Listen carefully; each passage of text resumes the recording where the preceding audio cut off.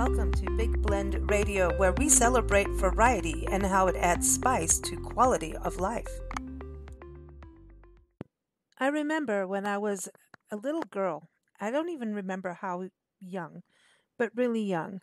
Nancy took me to a restaurant and she ordered coffee like most grown ups did it that morning. But she allowed me to have hot chocolate. And I remember going, Ooh, hot chocolate.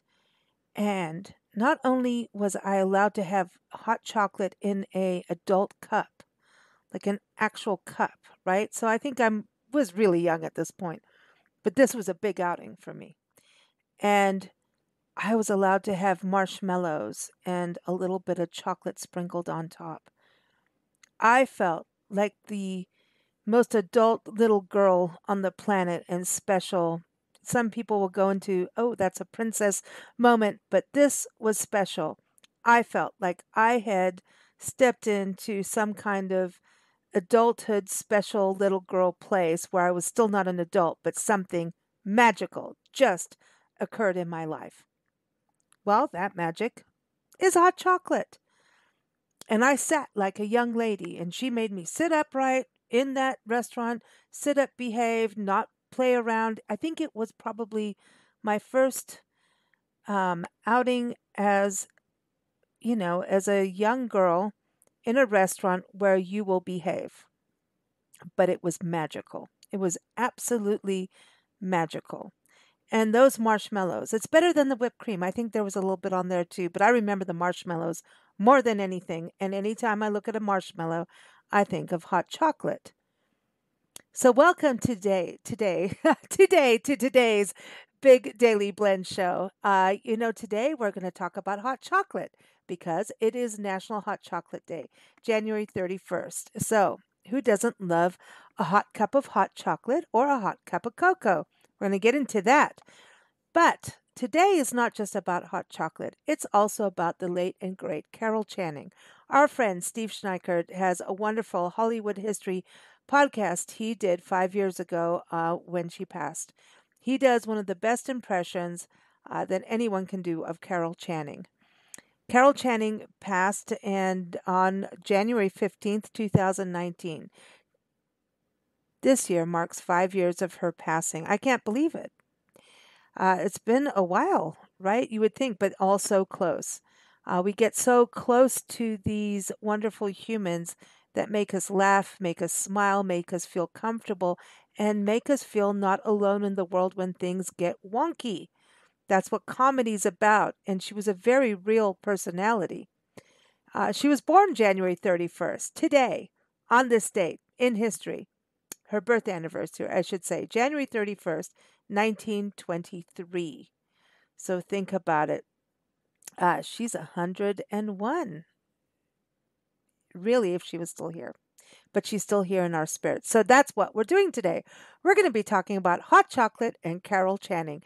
Do they have similarities? I was thinking about this, and now Steve may get mad at me and say, You didn't do a good job, but I think he'll give me a grace period on this. He knows Carol Channing and her work, like Hello Dolly, better than I could ever know.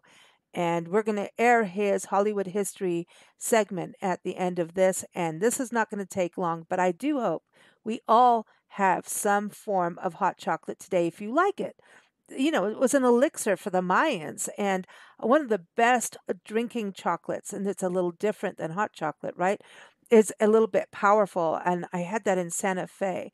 Uh, I think it's Cacao was the shop. And it was this little cup, teeny little cup, hot, a little thicker than we have in American terms. And boy, did I want to run around. I felt all pumped up. And you think about it, for soldiers, that was a big deal. So I was thinking and looking up history about this because it got me all like revved up. And I'm like, well, I know the Mayans like got revved up and things, but now what I did learn is that hot chocolate was actually used to keep soldiers up and ready and awake in World War One. Um, at the YMCA back in the day, not just the song, um, over 25,000 volunteers set up comfort stations all along the battlefront, and they were stocked with magazines, cigarettes, and snacks and cocoa. And I think this is also kind of when we got into World War II, we got into donuts, but that's going to be another podcast. Uh, so World War One, hot chocolate and cocoa, cocoa. We're going to get into the difference in a little bit. Were a big deal. So that's a little activism that our cocoa did, our hot chocolate. Well, when I look into the history of Carol Channing, she was also an activist. She was an activist for AIDS awareness and also, um, she talked a lot about the chorusman from the original Dolly show died at a young age from AIDS. She was a supporter of the Actors Fund. And in her autobiography, Just Lucky, I Guess, she talked about her parents um, and even her paternal grandmother, uh, that her grandmother was black and she kept it quiet. And it took a long time, over 50 years, for her to come out and say, hello, Dolly, literally.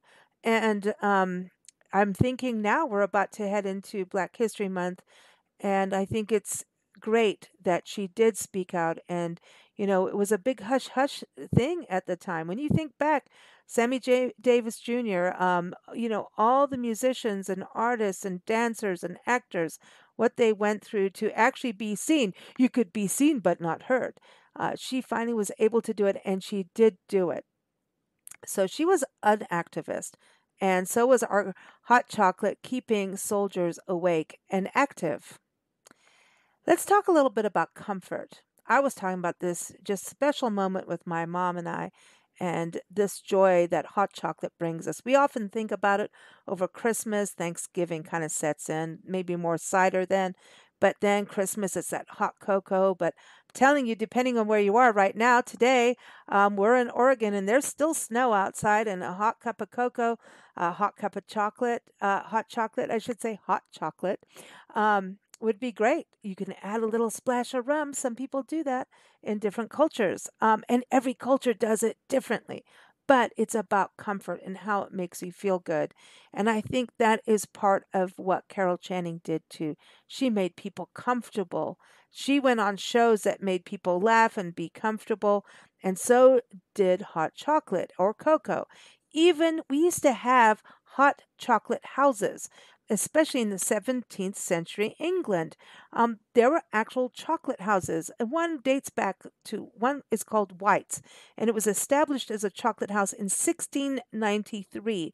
And they served hot chocolate in pitchers made out of gold and porcelain and silver. And I mean, it was a big deal, just like you'd go to a tea house or a coffee house. Hot chocolate was that big of a deal.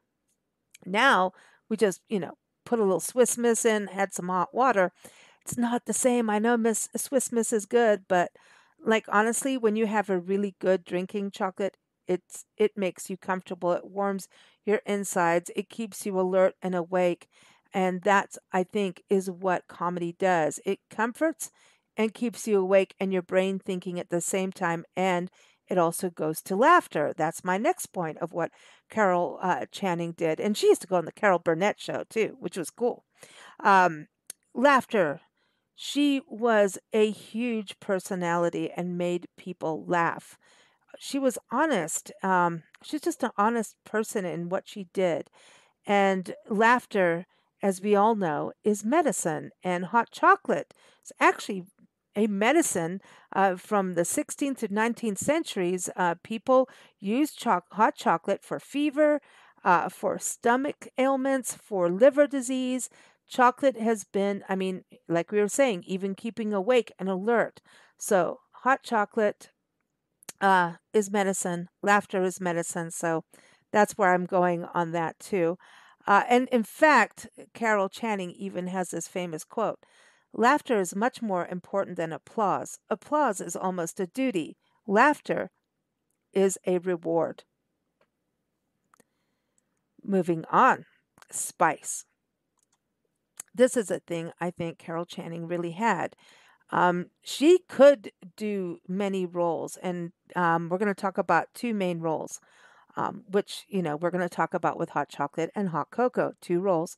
Um, but she had spice. She had a spice. She was feisty. She had grit.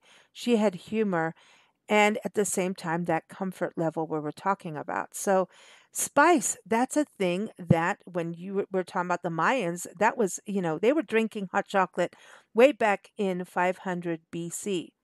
And they were actually making it into this thick foam. They were whipping it up with cocoa seeds, uh, cornmeal, even water, chili peppers. So we got that spice. And then eventually Cortez, the explorer, went to Europe and said, Hey, y'all, look what I've got. He didn't say it that way. Um, but they started doing it as a cold thing, and then royalty got a hold of it. And then Spain said, No, we want it hot and sweetened. And they kind of made this thicker beverage, and um, they actually eat it with, uh, drink it with churros. Um, but some cultures they put spice everybody does something a little different. So it shows versatility and spice uh, brings a variety to quality of life as we say here on big blend. Uh, a little bit of something different is great and we love that uh, that's why we are big blend. And i think carol channing had that as an actor and a comedian. But um, they say two roles. Let's look at this hot cocoa or hot chocolate.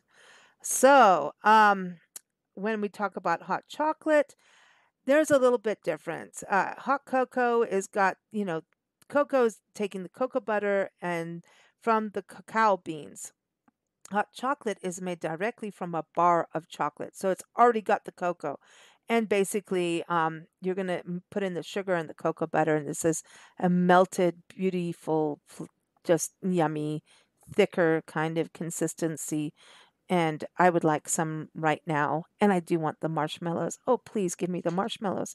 Um, but don't put them on the the pie, the pumpkin pie. Why are we doing that? Uh, a lot of you love it, so I'm not going against it. I'm just saying. But um, cocoa is really just here. It is. We're going to give you, you know, Swiss Miss with a little teaspoon, and you can put milk, you can put water, but it's all all the extractions and all the processes done. But I do like the idea of hot chocolate, like melting a chocolate bar. That to me is like magic. And you can add water, but um, there's something about chocolate actually being melted that just feels like, ooh, this is going to be really, really good. So when we look at two roles, they say about Carol Channing that she was really well known for being Lorelei Lee in Gentlemen Prefer Blondes and also, of course, Dolly Gallagher, Levi, uh, Levi, oh, Dolly Gallagher, and Hello Dolly. And so that was her main two roles. But again, she was still amazingly versatile, more than I think she was given credit for. So we want to say happy birth anniversary to Carol Channing. And um, hello, hot chocolate. Let's have some. I think that sounds delicious. We do have uh, a link for a recipe to make um, hot drinking or European drinking chocolate. And this is a recipe that is from the book Making Chocolate. We first published it when the book came out in 2017, which is by Dandelion Chocolate, which is a bean to bar chocolate factory that was founded in 2010 by Todd Masonis and Cameron Ring. So this will give you four, uh, excuse me, five four ounce servings, and um, it's profile. They give you a chocolate profile of this drink. Chocolatey, nutty, rich fudge brownie. Okay, I'm in. And um, they they they add warm milk and brown sugar to it. It's apparently really good, but it was also developed by their first pastry chef, Phil Ogilia. Uh, Ogila, excuse me. You know I can't pronounce anything, right? Um, and it, they say it tastes like a pure melted chocolate bar, and it's one of their most popular drinks to date. It's a rich sipping chocolate, a cross between the strong water based hot chocolate in Paris and the most almost thick as pudding Italian kind. And um, I'm thinking I'd like to make this recipe today. So check it out. Uh, the link is in the show notes for this European drinking chocolate. I hope you enjoy Steve Schneickert's Hollywood History uh, episode. It's only a few minutes, uh, but it is a wonderful tribute in honor of Carol Channing's life. Thank you all for joining us here on the Big Daily Blend podcast here on Big Blend Radio.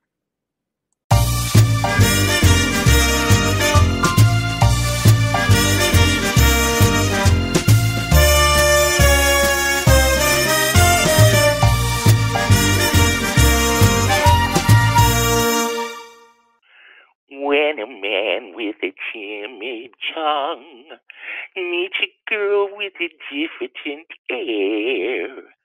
Why should the tortured creatures beat around the bush when heaven knows Mother Nature always needs a little push? So I put my hand in here. I put my hand in there. With her husky voice, one of the most easily recognized and most imitated in the world, gigantic saucer eyes, poofy platinum bob, and an ear to ear pearly white smile. Carol Channing was a larger than life luminary. Fans could not resist her. In Hello Dolly, which opened at the St. James Theater on Broadway in January 1964 and ran through December 1970, Channing crackled as meddling matchmaker Dolly Gallagher Levi featuring a score by Jerry Herman and book by Michael Stewart and based on Thornton Wilder's 1954 stage play, The Matchmaker, Hello Dolly, produced by David Merrick, won 10 Tony Awards, including one for Best Musical and another for Channing as Best Actress in a Musical. Carol Elaine Channing was born in Seattle, Washington on 31 January 1921 the only child of Adelaide and George Christian Channing. A city editor at the Seattle Star, George Channing took a job in San Francisco, and the family moved when Carol was two weeks old. She attended Aptos Junior High School and Lowell High School in San Francisco. When she was 16, she left home to attend Bennington College in Vermont. Carol was introduced to the stage while helping her mother deliver newspapers to the backstage of the theaters while growing up in the Bay Area. Her first job on stage in New York City was in Marc Blitzstein's No for an Answer. She was 19 years old. Channing moved to Broadway for Let's Face It, in which she was understudy for Eve Arden. Five years later, Channing had a feature role in Lend an Ear for which she received her Theatre World Award and launched her as a star performer. Channing credited illustrator Al Hirschfeld for helping make her a star when he put her image in his widely published illustrations.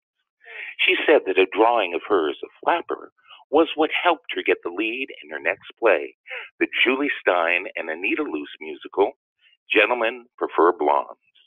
From that role as Laura Lee, Lorelei Lee, I should say, she gained recognition with her signature song from the production. A kiss on the hand may be quite continental, but diamonds are a girl's best friend. Finding roles that suit the strange and wonderful charms of Carol Channing has always been a problem to Broadway showmen.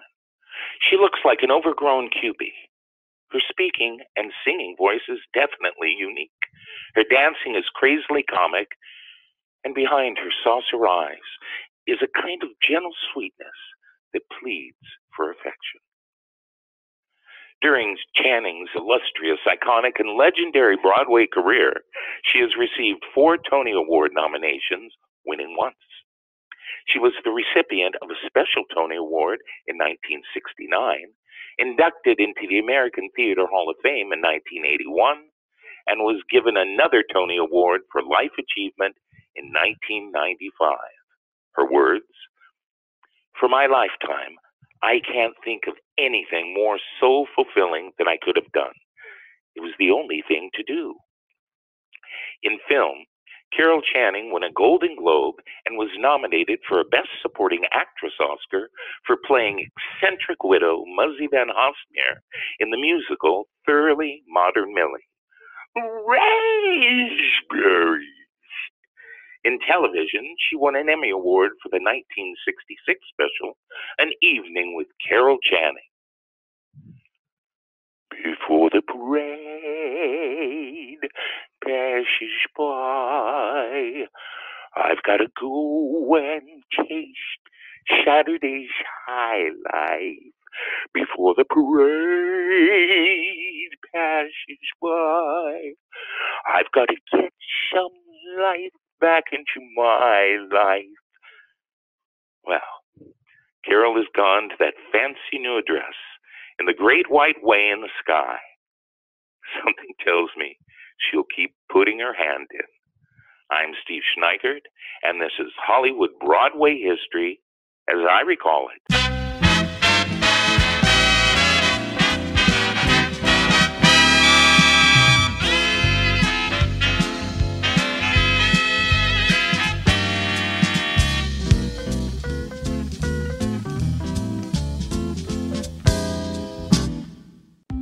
Listening to Big Blend Radio. Keep up with our shows at bigblendradio.com.